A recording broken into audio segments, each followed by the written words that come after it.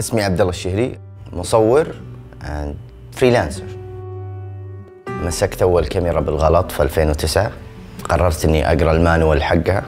بعدها وقفتني صعوبات اني ما أعرف مصطلحات التصوير فاضطريت إني أروح لجوجل ويوتيوب. وبعدها الحياة تغيرت. قررت أعلم نفسي. لين بديت أتمكن من الكاميرا وأفهمها أخذ مني الموضوع سنتين. وال social media جت. كانت فترة انتقال في الانترنت عندنا في السعودية فالناس كلهم بدأوا يكونون في ال social media ومن هناك آه، تقريبا كل شيء بدأ. وأنا صغير كان أبوي يأخذنا على محل اسمه في الرياض اسمه البراجون براجون كان محل فيديو. فكنت وأنا صغير دائما أشوف البوسترات تبع ال movie. وبالنسبة لي كان science هذا علم إنه كيف يسوون poster movie فمن هناك بديت أحس بأهمية التصوير.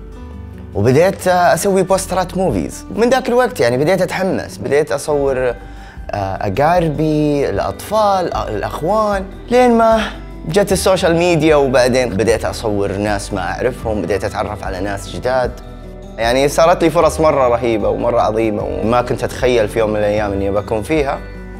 يعني مثلا في 2011 كان سمعت بزيارة ميسي آه، للسعوديه فوقتها طلبنا من رعاية الشباب إنه عندنا فكرة نبغى نصور اللاعبين الأرجنتينيين. ف وجتنا الموافقة بعد ما أرسلنا البورتفوليو إلى إلى المنتخب ووافقوا فكانت فرصة سعيدة إني الوحيد اللي قدرت أصوره.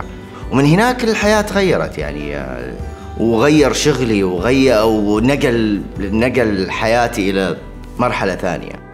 إن شاء الله نقدر هذه الأيام نوري everyone كيف السعودية قاعدة تتغير وقاعدة تتطور و... ودائما أحب أنصح يعني المصورين إنه عندنا ثقافة وكلتشر موجود في في هذا البلد لسه باقي ما أحد لمسه فأتمنى إن كلنا نقدر نستغله وكلنا بنقدر نستفيد منه. إن شاء الله إنه نقدر نبين الصورة الجميلة عن هذا البلد.